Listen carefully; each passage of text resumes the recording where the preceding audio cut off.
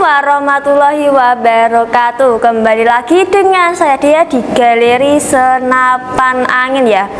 Oke untuk kali ini saya itu akan mereview dan juga akan tes akurasi untuk senapan angin Predator Extreme ya. Dan untuk kalian jika penasaran dengan spek-speknya dan juga tes akurasinya Tonton video ini sampai habis. Dan pastinya jangan lupa di subscribe Oke untuk kali ini itu saya akan mulainya itu mereviewnya mereviewnya dulu ya. Dan saya itu akan mulai mereviewnya itu dari depan sampai belakang. Dari ujung laras dan ujung popor ya. Dan, dan saya itu akan membahasnya dari ujung popor ujung larasnya dulu maksudnya ya. Ya dan saya itu akan membahas dari bentuk laras dan juga panjang laras untuk larasnya ini, larasnya ini menggunakan laras Polymax ya. Dan pastinya larasnya ini sudah dilengkapi dengan serombong. Ini tuh yang dinamakan serombong ya. Ada juga itu yang tidak memakai serombong dan untuk panjang larasnya panjangnya itu 60 cm alurnya alur 12 OD nya 14 dan untuk di ujung laras ini di ujung laras ini ada penutup laras ya. Dan penutup laras itu sebagai variasi tapi bisa juga kalian itu ganti menggunakan peredam ya. Intinya kalau kalian suka yang senyap-senyap itu kalian bisa banget ganti menggunakan peredam. Dan setiap pembeliannya di galeri senapan angin itu akan kasih kalian bonus peredam yang super senyap OD38 intinya peredamnya itu besar banget dan pastinya OD nya sudah OD38 ya dan untuk bagian tabungnya ini tabungnya ini menggunakan tabung Venom 500 cc ya. Bukan menggunakan tabung GSM tapi menggunakan tabung Venom dan pastinya di antara laras dengan tabung itu pastinya sudah dilengkapi dengan cincin laras. Di sini itu ada satu cincin laras ya yang fungsinya itu sebagai mempererat antara laras dengan tabung. Sehingga laras dengan tabungnya itu tidak akan goyang-goyang saat kalian gunakan untuk berburu ya. Intinya itu akan tepat sasaran. Semisal di sini itu tidak dilengkapi dengan cincin laras, itu laras dan tabungnya akan goyang-goyang ya. Dan kalau kalian gunakan untuk berburu, itu tidak akan tepat sasaran. Makanya di sini itu dilengkapi dengan cincin laras agar aman dan pastinya tidak akan goyang-goyang saat kalian kalian gunakan untuk berburu ya dan untuk apa namanya? Untuk pengisian angin. Untuk pengisian anginnya ada di sebelah sini ya. Ini namanya pengisian angin. Dan untuk pengisian anginnya ini sudah menggunakan mini coupler ya. Dan untuk pompanya pompanya itu menggunakan pompa PCP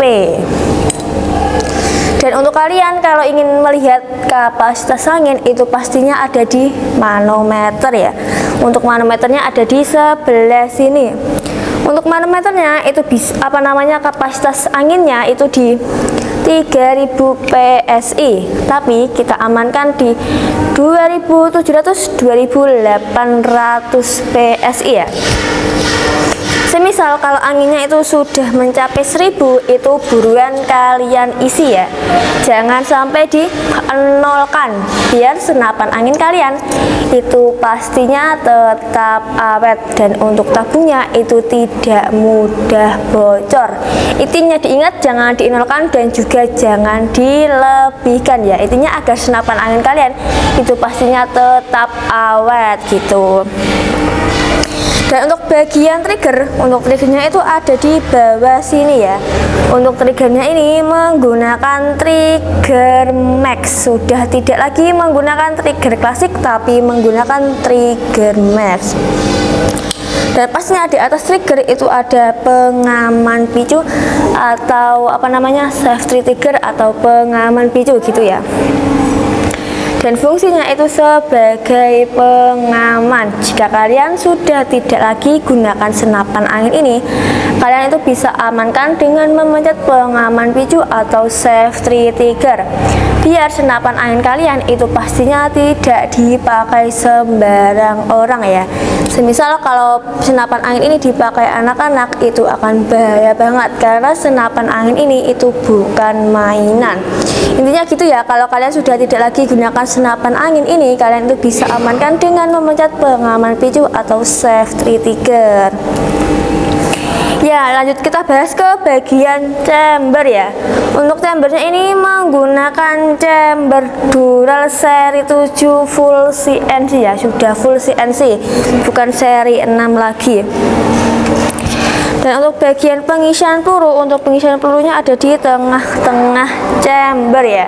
Dan untuk pengisian pelurunya itu bisa kalian isi dengan magazine juga bisa kalian isi dengan single shot intinya ada dua pengisian ya. Intinya kalian bisa isi dengan magazine juga bisa kalian isi dengan single shot gitu dan untuk bagian tarikan untuk tarikannya itu ada di sebelah chamber ya. Untuk tarikannya ini menggunakan tarikan seat lever sudah tidak lagi menggunakan tarikan grendel ya. Karena sudah menggunakan tarikan seat lever sehingga itu lebih ringan banget intinya enteng banget saat kalian gunakan untuk berburu. Karena tarikannya ini sudah menggunakan tarikan seat lever ya dan untuk di belakang chamber ini sudah dilengkapi dengan apa namanya lay mounting atau penaruh teleskop.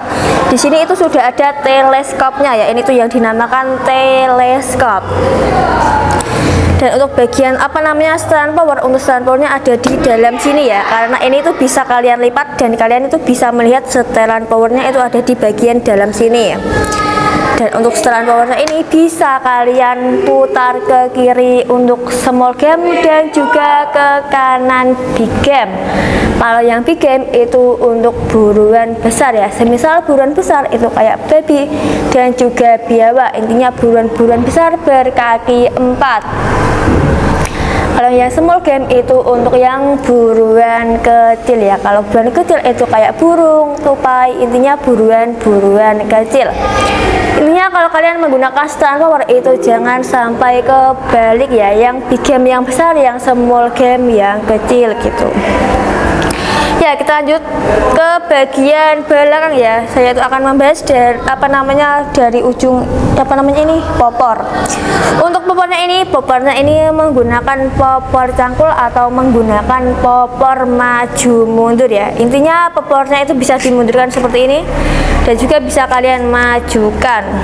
Intinya itu mudah banget ya dan untuk bagian apa namanya di belakang popor itu sudah dilengkapi dengan sandaran bau yang terbuat dari karet mentah sehingga lebih nyaman dan pastinya empuk banget saat kalian gunakan untuk bersandar Oke, itu sudah saya review semua ya. Selanjutnya saya itu akan membahas dari harga senapan angin ini. Untuk harga senapan angin ini itu cuma 5 juta 500 saja ya. Dan itu sudah termasuk harga promo di bulan Juni ini. Dan pastinya kalian sudah dapat bonus telebasrel ya dan juga dapat kelengkapannya untuk untuk kelengkapannya itu ada tas tali sandang gantungan peluru. Peluru tes magazin peredam dan juga STKS intinya ada 7 bonus. Intinya kalian yang di luar Maluku dan Papua itu cepat-cepat kalian order. Jangan sampai kehabisan senapan anginnya dan juga tidak kehabisan promonya. Dan untuk kalian kalau ingin membeli senapan angin ini kalian itu bisa hubungi nomor yang ada di bawah ini. Dan untuk cara pembayarannya ada dua cara ya ada cara COD dan juga transfer atau bayar di tempat. Dan untuk cara COD itu pastinya gampang banget ya. Kalian itu bisa kirim foto KTP sesuai alamat Anda. Jika kalian tidak mengirim foto KTP, kalian itu bisa dikenakan DP sebesar 100.000 saja untuk tanda jadi keseriusan Anda dan untuk cara transfer kalian bisa hubungi nomor yang ada di link deskripsi. Oke itu sudah saya review semua ya. Dan selanjutnya saya itu akan melanjutkan ke tes akurasi di atas ya. Oke selanjutnya kita ke tes akurasi ya. Dan sebelum kita tes akurasi itu itu saya akan mulai menghidupkan moncemnya dulu ya dan untuk untuk jarak tes akurasi kurang lebih itu jaraknya 20 meter ya. Dan saya itu akan mulai mengetes akurasinya. Kita mulai ke tembakan yang pertama ya.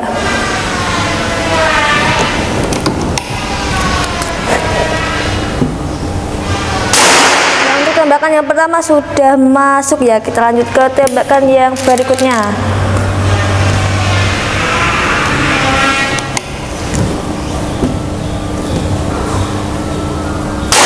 yang tembakan kedua sudah masuk lagi ya. Kita lanjut lagi ke tembakan yang selanjutnya juga.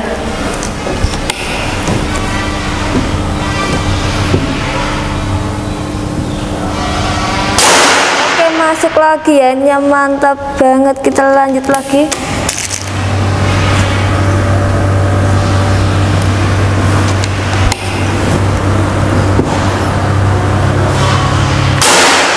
ya masuk lagi ya. Kita kita akan coba sekali lagi.